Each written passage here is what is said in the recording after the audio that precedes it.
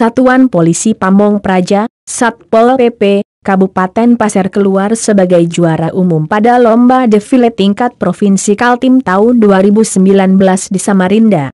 Kepala Satpol PP Pasar Herian Syah Idris mengatakan lomba tersebut merupakan kali kedua bagi Satpol PP Pasar, mengingat tahun lalu pihaknya juga meraih juara di perlombaan yang sama. Lomba defile merupakan bentuk kreativitas Satpol PP dalam mengekspresikan diri, di tengah kesibukannya dalam penegakan peraturan daerah keterlibatan Satpol PP Pasir dalam kegiatan itu banyak didanai dari denu yang terbatas. Memang Satpol PP ada anggaran, tapi terbatas.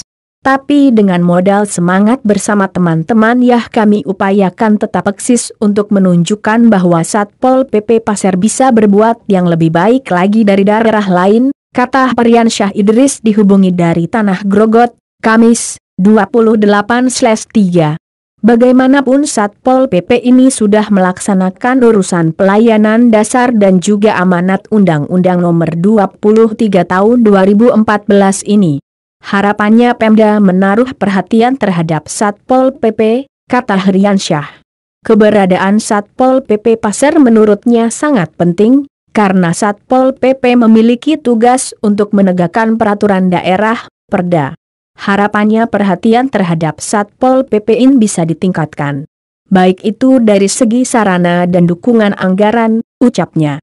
Satpol PP Pasir sebelumnya telah mengusulkan anggaran untuk meningkatkan personel dan sarana. Namun dalam beberapa tahun anggaran yang diusulkan belum bisa diakomodir sepenuhnya.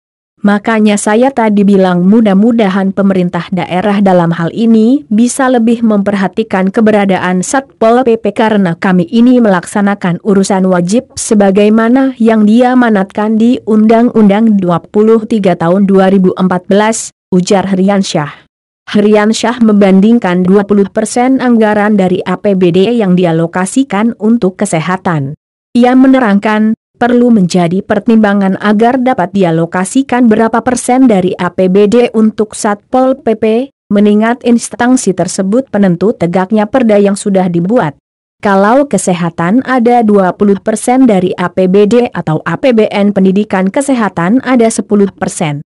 Satpol PPI itu kan belum nampak nominalnya, ya minimal bisalah diperhatikan keberadaannya karena kami menegakkan perda. Untuk menambah personel dan sarana prasarana, ujarnya. Terkait lomba defile, Herian Syah berharap prestasi itu dapat dipertahankan. Sehingga piala bergilir di tahun depan tetap berada di tangan Satpol PP Pasar.